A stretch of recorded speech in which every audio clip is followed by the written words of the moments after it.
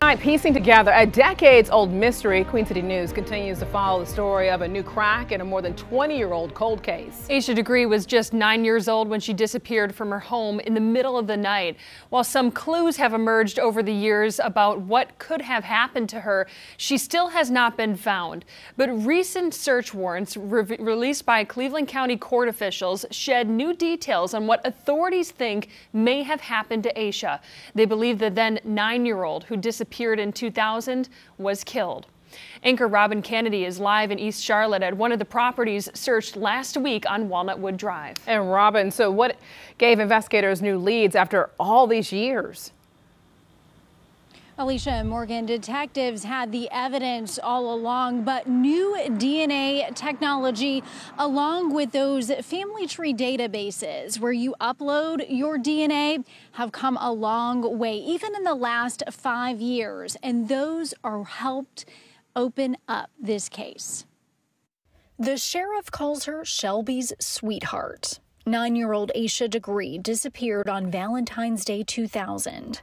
A year and a half later, law enforcement found her book bag and clothes ditched, double bagged in garbage bags.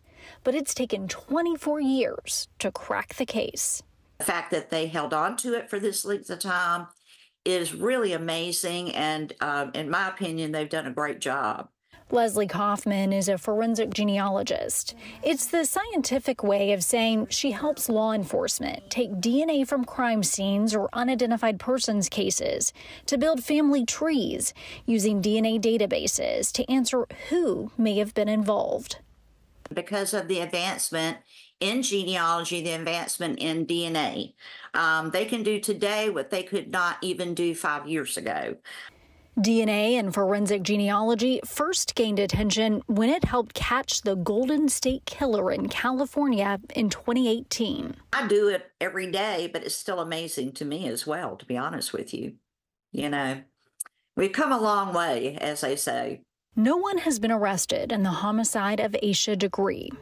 Search warrants executed for five properties in three different counties last week show DNA collected from a hair on Asha's undershirt came back to Anna Lee Victoria Dedman Ramirez, the daughter of Connie and Roy Lee Dedman, the owners of some of the properties searched.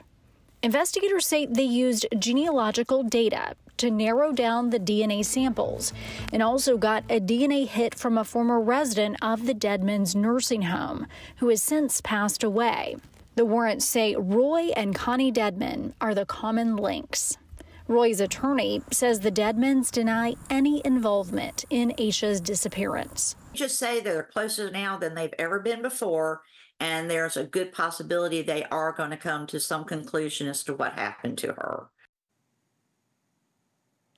Now, Kaufman says it is important to note that these DNA databases where you upload your results, they ask if you want to opt in to have law enforcement take a look at your results and your information. So she says it is your choice. I'm live in East Charlotte. Robin Kennedy, Queen City News.